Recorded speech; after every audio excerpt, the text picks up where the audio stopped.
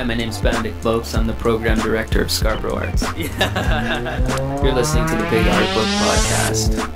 The Big Art Book Project is an experiment in 2012. It's the merger of two annual programs, a youth visual arts project, and an open writing project that we do. We wanted to combine those two elements and generate fresh, new creative content and really see where that would take us. We weren't sure about the response, we weren't sure how it would be received by our community of artists, but the outpouring of material and support has been overwhelming.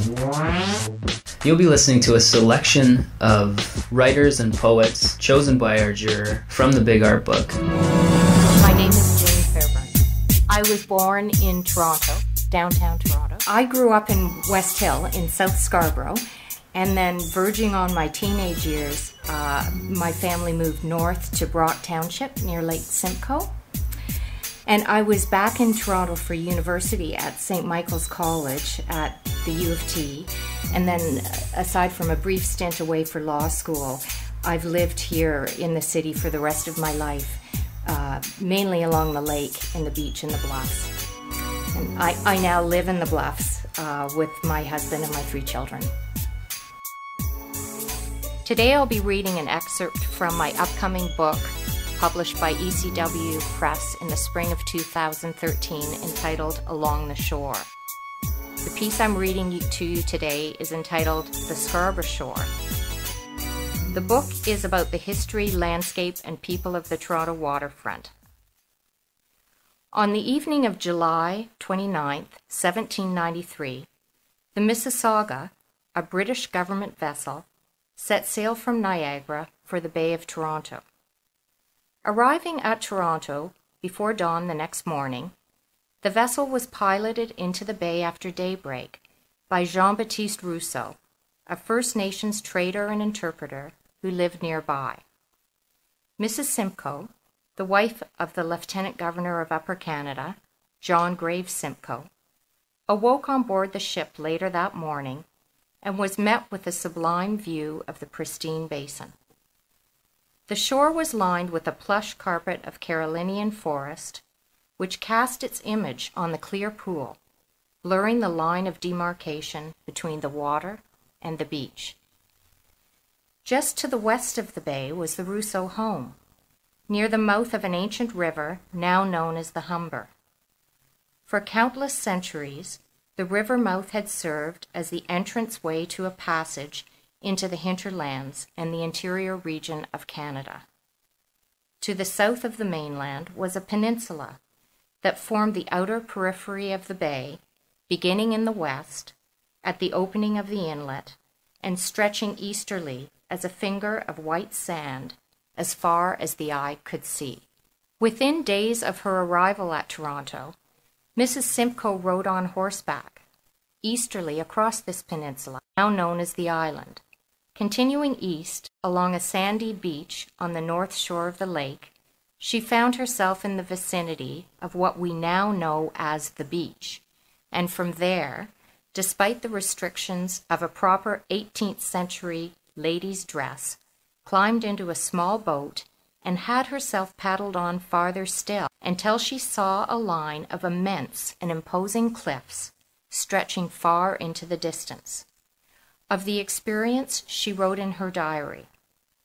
After rowing a mile, we came within sight of what is named, in the map, the Highlands of Toronto. The shore is extremely bold and has the appearance of chalk cliffs, but I believe they are only white sand. They appeared so well that we talked of building a summer residence there and calling it Scarborough. Although the highlands had been known to early European explorers since the 17th century, and for countless centuries before that to the Aboriginal people who frequented the lakefront, it was Mrs. Simcoe who first recorded the sense of mystery and imagination that they continue to invoke to this day. It was one thing for Mrs. Simcoe to write about the Highlands. It was another thing entirely during those times to consider living on top of them, replete as they were with insects and beasts of all description, and lacking road access to the developing town of York, which lay, at a minimum, five and a half miles distant to the west. To say the least, this was a thoroughly unconventional idea for an English gentlewoman of her times. But Elizabeth Simcoe was by no means conventional. She appreciated and rejoiced in the natural, unspoiled beauty of the landscape. Enough so to envision herself right from the beginning on the top of the cliffs, in the middle of nature, gazing out at an unending sea of blue. In time, these cliffs came to be known as the Scarborough Highlands, and later in the 20th century as the Scarborough Bluffs.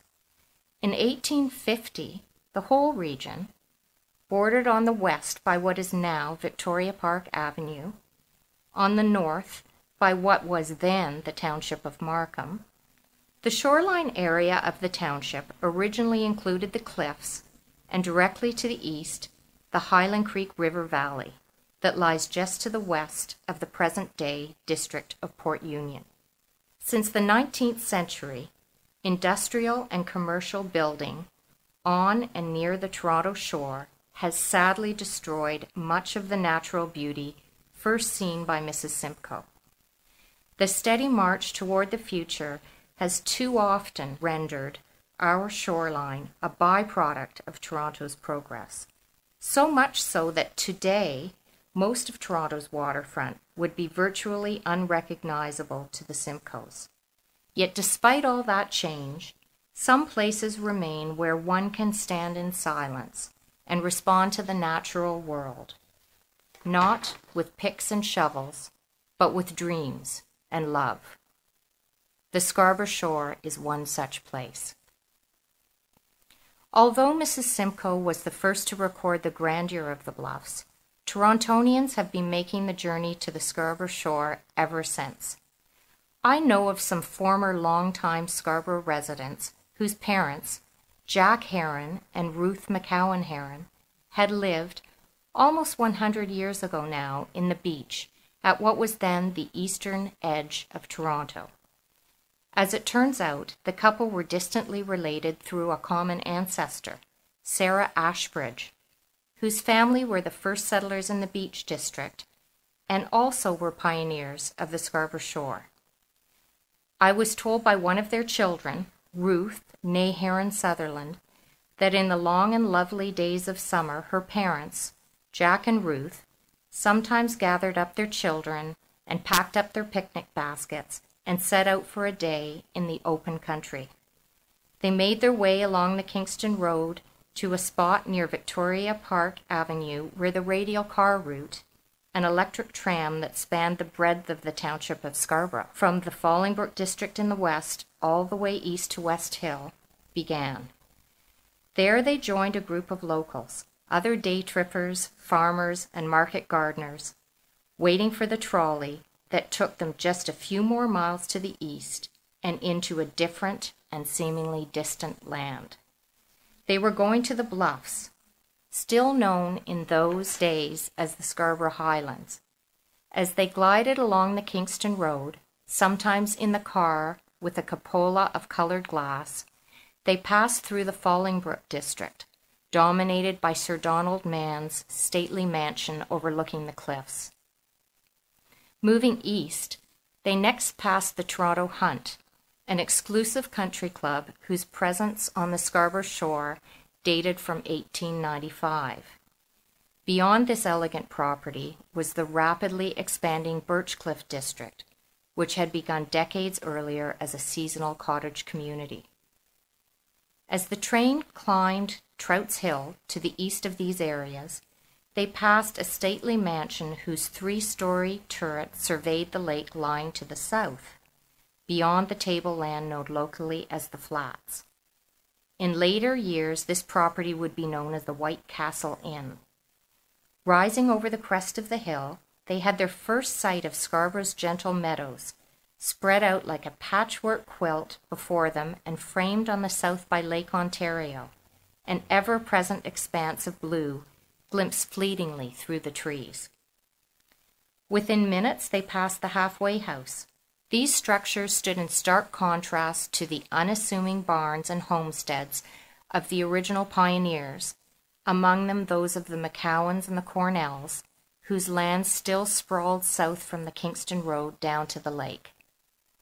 Just past St. Joseph's on the Lake was Scarborough Heights Park. The family opted to avoid the raucous crowds at the park, however, and continued a little farther, where they finally arrived at Markham's Road, as it was then called. There, near the dilapidated smithy of Scarborough Village, which by then was almost deserted, they got off the radial. The children ran ahead while their parents meandered along the time worn path strewn with buttercups and wild strawberry. Only the freshness of the air hinted at the height of land as they moved steadily uphill toward the sumac that lined the top of the meadow. Finally, at the top of the field, they parted the brush and the brambles and sat down, drinking in the deep aquamarine and indigo tones of a still and silent lake that stretched out to the south. Years later, the Herons would realize their lifelong dream and build a romantic stone house near the edge of this very cliff. The focal point of this lovely home was neither a hearth nor an arrangement of furnishings, as it was in so many homes of that time, just as today it might be a television or computer screen. No. It was a simple casement rectangular window, nothing more, but a window that at night perfectly framed the moon, hanging low on the southern horizon and casting a pathway of silver light across the waters of the lake. The memory of that simple blue window is cherished to this day. You're listening to the Scarborough Arts Big Art Book Podcast here in studio at Scarborough Arts. My great grandfather, uh, William Henry Moore, who was a writer and a lawyer, um, had an estate property uh, at the mouth of the Rouge River. Um, called Moorlands. And my earliest memories are really of playing on that estate and looking out at this great expanse of water. So it's always been very much an influence for me. And later, when I'd mentioned the water to other Torontonians or friends or Lake Ontario, references to that, I found it curious that outside of the beach and the bluffs area, the the areas that I was familiar with along the water, people didn't really see themselves as part of a waterfront community in Toronto. The book is actually a look at four different waterfront communities. So it moves east from the Scarborough Bluffs to the beach, then the island, and then the lakeshore, which is is is a it's an interesting word and defined differently by different uh, different groups of people. But I've looked at the communities of Humber Bay, Mimico, New Toronto, and Long Branch that uh, sort of extend west from the Humber over to Etobicoke Creek. And what I found very interesting once I got into this project and in familiarizing myself more with all of the communities, but in particular with the island and the lakeshore that I didn't have as much personal experience with, was that they are very connected and we've somehow forgotten that. Uh, we, we began forgetting somewhere in the mid 20th century. And uh, part of my interest in writing about these areas is to reconnect us with our shared waterfront heritage. So, the name of the book is Along the Shore, and it's a look at the Toronto waterfront through the lens of four distinct lakefront communities, those being the Scarborough Bluffs, the beach, the island, and the lakeshore. And you can find information about the book at www.janefairburn.com. And if you click on the Facebook badge at the, the top right hand of the homepage of the website, you can get onto uh, a Facebook page for Along the Shore.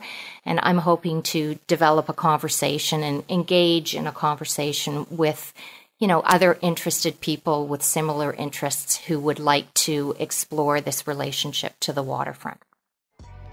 Scarborough Arts is a not for profit community arts organization. We've been proudly serving our community of Scarborough through the arts since 1978. To find out more information about Scarborough Arts and our ongoing programs and projects, you can visit us at scarborougharts.com.